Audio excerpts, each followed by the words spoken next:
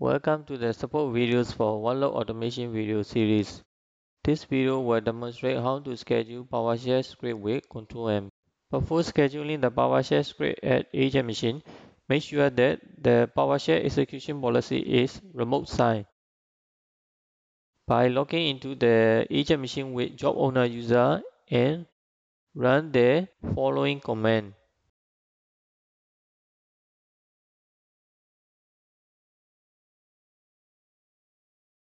To define the job owner for PowerShell script job, go to the CCM and click on security and run as.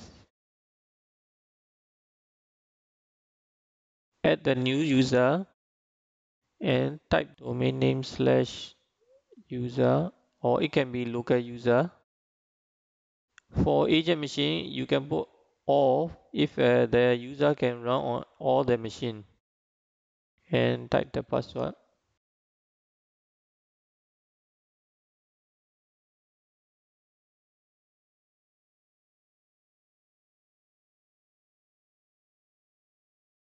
In the Workload Automation GUI, we create a new job.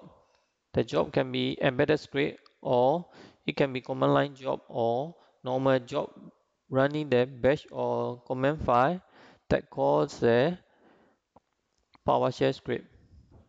For example, we do the embedded script, type the PowerShell command, and followed by the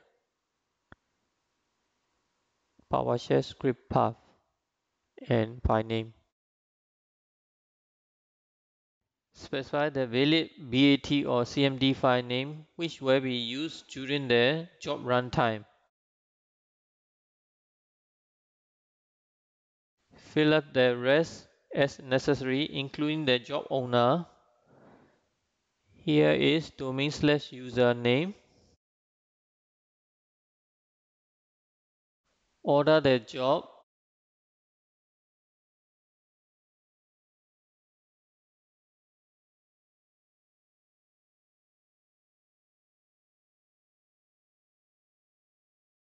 Go to monitoring to check the job status to see if the job runs okay and also output of the job.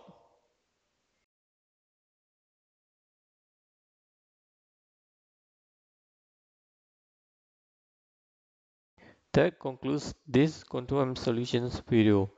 Please see our knowledge base and YouTube channel for more videos like this. Thank you.